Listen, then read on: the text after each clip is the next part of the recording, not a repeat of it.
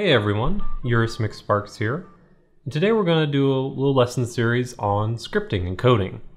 And we're going to learn how to make a couple cool features for a platforming game, or uh, obby as it's often called in Roblox. And we're going to start off at the very beginning, kind of the very basics of coding and scripting. So if you've already done this sort of stuff before, might be review, but you know, please feel free to stick around. You might learn stuff. And because we're going to do some really cool and interesting things today. So let's go ahead and dive in. So what is scripting and coding? Well, to put it really, really simply, coding is just giving a computer a series of instructions, telling it some special things to do. And it's true in all, kinds of programming, even in game making. That's what we'll do today. So I'm in Roblox Studio. I'm going to open a couple extra windows. You may already have these open, but I just want to make sure that they're here. I want the Explorer, the properties, and the output.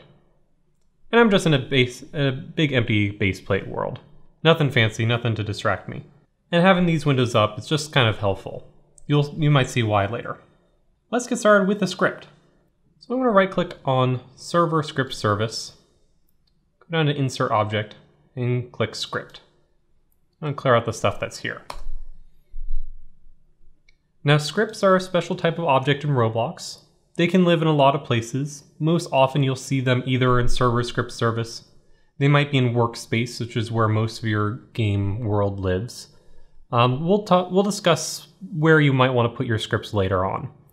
For now, server script service is nice. Just kind of a convenient place to put all of your scripts. They all run when the game starts, and it's just a nice way to keep it organized.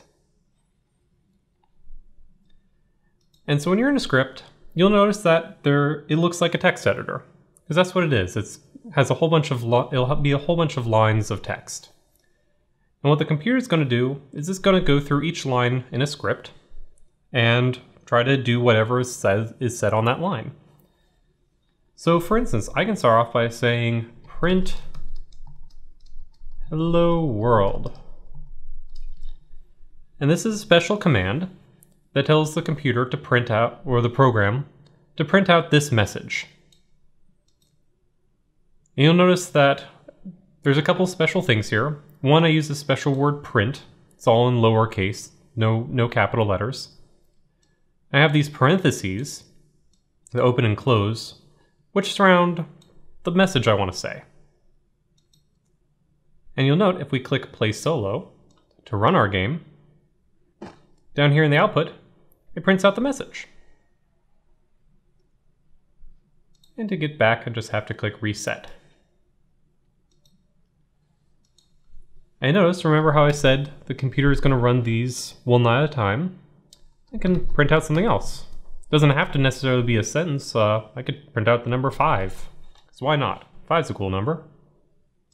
If I run this game, said hello world, because that was the first line, and then it went to the next one and said print out 5. Just does things one at a time. That's really all there is to it. Now we don't have to just print out words and numbers. That's all fine and good, but we want to probably look at some interesting parts of our game. Like for instance, I can see that the base plate here is this gray, this kind of dark stone gray I think it is. Well, let's say I couldn't see that, but I wanted the script to tell us what color it was. Well, we can print that out too. So I'm going to say print, my open and close parentheses. And what I'm interested in printing is the color of the base plate here. You can see it in the workspace. Now how do we say to print out a property? Notice how dark stone gray is the brick color of the base plate. And that's what we want to print out.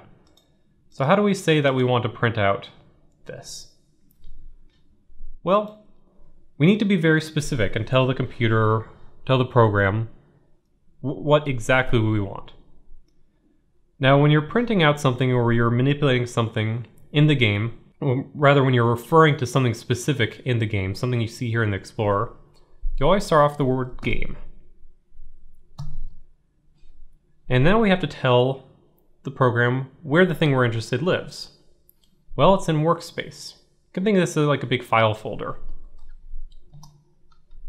And the base plate is inside the workspace can just say workspace dot game.workspace dot baseplate. When you see these dots, that basically just means, kind of like a file structure, you're going into the next one. So we start off with game, which is kind of the overall, the kind of thing that encapsulates everything. Then we say go into workspace, which is this right here. Then we say go into the base plate, which is this object that's just underneath workspace. So this just refers to the object itself, just this brick. If we want to see one of the properties, we want to print that out, we just keep going with what we've been doing. We say dot again, and in this case, let's say brick color.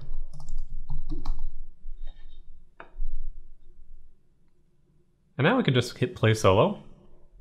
And we got our hello world, or 5, and it says dark stone Gray. And note that's exactly what is here. If we changed the base plate color, let's say we made it blue, hit play solo, now it says hello world 5, bright blue. Neat. Now there's a lot more to scripting than just printing stuff out.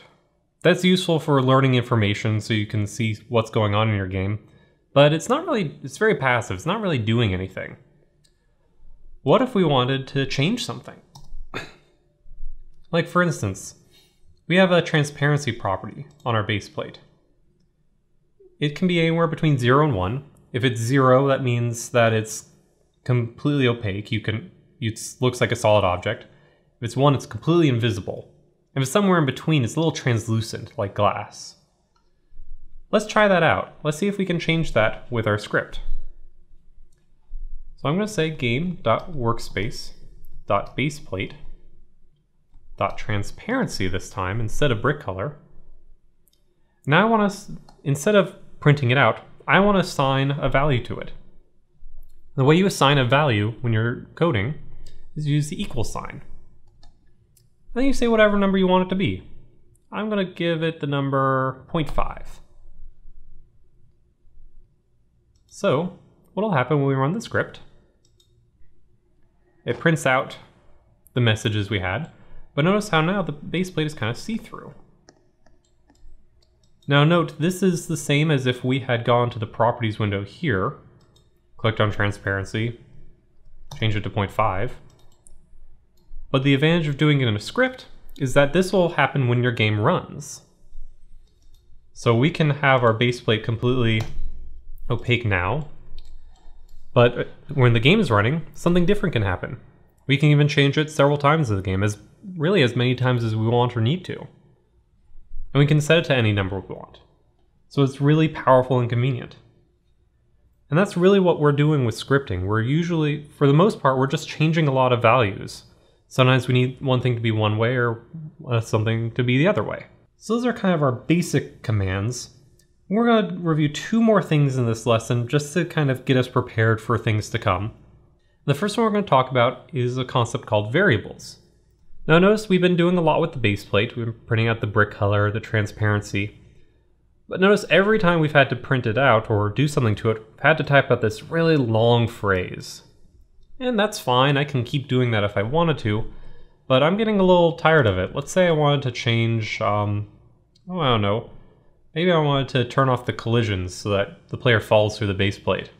I really don't particularly feel like typing game.workspace.baseplate.canCollide. That's getting really long. I kind of want to save myself some work. So I'm going to use something called a variable. To make a variable, you just give it an, you just use this special word local. It's a keyword, you'll notice how it becomes dark blue. And then I'm going to give this variable a name can be anything. I'm going to call it my base plate. This name can be anything you want for any variable you want in your game. You can have as many variables as you want. So a couple things to note. You can't have spaces in your variable name, so don't do that, even though that might be easier to read. A couple other things. You can't start with like a number. There's a few other tricks, but those are kind of the common pitfalls. Just keep those in mind. You'll learn what are good variable names as you code. In general, my recommendation, use a short, a short word or phrase so you know what this means. And then what I'm going to do is I'm going to sign, again using my equal sign, I'm going to assign game.workspace.baseplate.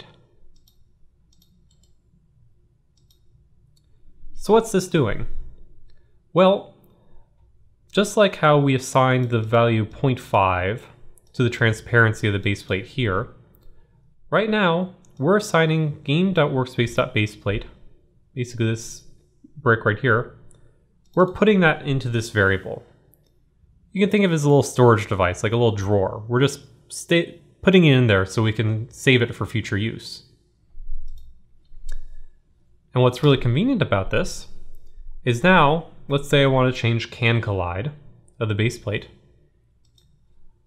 Now all I have to do to do that is just say my base plate dot can collide equals false. Just as a little tip, whenever you see these check marks, if you want to change them in code, those will either be true or false. If it's checked in, that's the same as saying, that's the same as making it equal to true.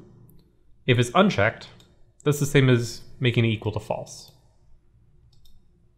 But back to variables. Basically, this line right here is the exact same thing as typing out this. These two do the exact same thing, but notice how this one's much shorter and easier. Makes it so you can write things quicker, makes it a lot easier to read, really. And it's a very nice handy tool to use. And just to show that this does something, let's click play solo. We turn off the collision of the base plate, so, oh no! Oh, we fell through. And note that variables don't have to necessarily be things in the workspace, they don't have to be an object you can make a variable for, let's say we want to store a number, like let's say I had a score in my game. I could start the score off at zero, and it could store that number like that. So one more quick thing I want to talk about is the concept of a function. Now right now we've been doing a pretty straightforward script. All it's been doing is exactly what it's been told to do. It just goes through one line at a time and does each of these things in sequence. Pretty straightforward, pretty simple. Now let's say I wanted to do the same thing over and over again. Or let's say I wanted to, well yeah, I wanted to do the same thing over and over again. Like let's say I had I wanted to set Oh, I don't know. Maybe well maybe let's keep going with this collisions. So let's say I wanted to keep switching back and forth between can collide and I wanted to change the color. So let's say when you can't collide with it, my base plate dot brick color equals brick color dot red. So if you can fall through it, it's red. But let's say I also wanted to my base plate. Let's say I wanted to make it so that if you can walk on it, let's say we want to make that green. So I'm just going to set the brick color to, oop, need my equal sign, brick color dot green. And so this is kind of a weird example. I don't think your game would actually make the base plate switch back and forth between can collide or can't collide. But I think you can understand this. You could probably use this in some other circumstance. Let's say I want to switch back and forth a lot. Well, I could just, let's say anytime I wanted to make the base plate, uh, you could pass through it and make it red, I could just type these two lines again. But just like a variable, I don't want to waste my time having to write out all these things again. What if there's some way I could do it in a quicker way? Well, that's where functions come in. So I'm going to make something called a, a, function. Same way we made a variable, we just start with local, then we use the special word function. I'm going to call it make base plate red. And a special thing we have to do is we have to use open and close parentheses, return. And notice how the how Studio will automatically put this uh, keyword end after it. Now what's special about a function is that all the code that you write that's in between these parentheses and the end, that doesn't get run when the program starts. Because normally, as you know, programs just going through these one at a time. But if it gets to a function, it doesn't automatically run the code that's inside it. It waits. It says, okay, if I see make baseplate red, I'm going to do the stuff that's in here. But I'm until I'm told to do that, I'm just going to skip over it for now. And so let's say we want to copy this code. I'm just going to cut it actually and put it inside my function. Notice how, actually just to make it simple, I'm going to clear out everything else just to keep it clean. So notice how if we run our game, the base plate is blue. I think that's because we set the base plate color to be blue in the properties. Yeah. But notice how it's not red, and we're standing on it. That's because this code in the function hasn't, hasn't been run yet. Now to make code in a function run, all we have to do is say make base plate red. We just use the name of the function and give it these parentheses. Now I hit play solo. Hey, now it's red. Oh, and I pass straight through it.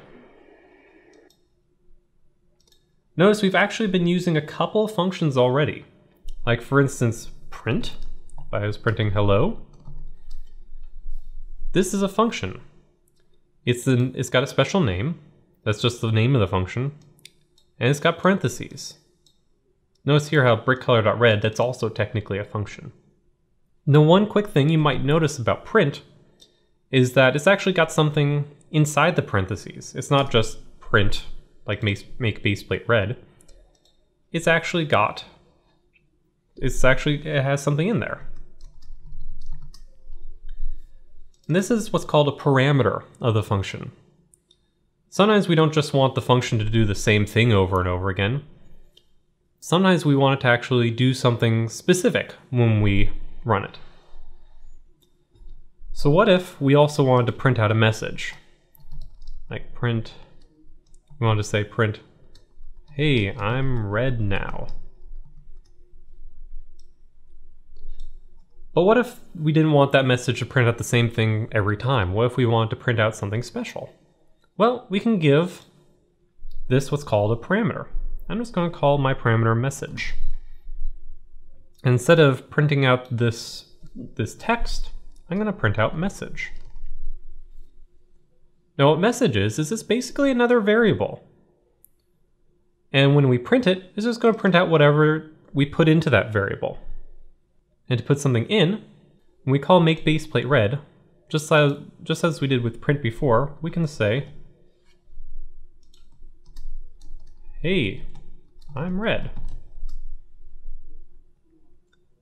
And notice what happens here. We hit play solo. Oh, that's red. And print it printed out, I'm red. Because when we ran our program, it set the variable for the base plate. We made a function. It didn't run it right away, but it said, okay, if I see make base plate red, I'm going to do this code that's between my parentheses and my end statement. And I'm actually going to run the function. Oh, and I also have a special instruction to pass along. And this right here, this corresponds to this message. And so it printed out, hey, I'm red. So those are the very basics. We'll be reviewing this a little bit as we go into further lessons, because we're going to be using all these concepts we just learned and some more. We're going to wrap this up for now. But stay tuned, in just a moment we are going to go ahead and get started and make something really cool and interesting with our code. We're actually going to have our, we're going to add a game feature. So stick around, I'll see you in just a couple minutes.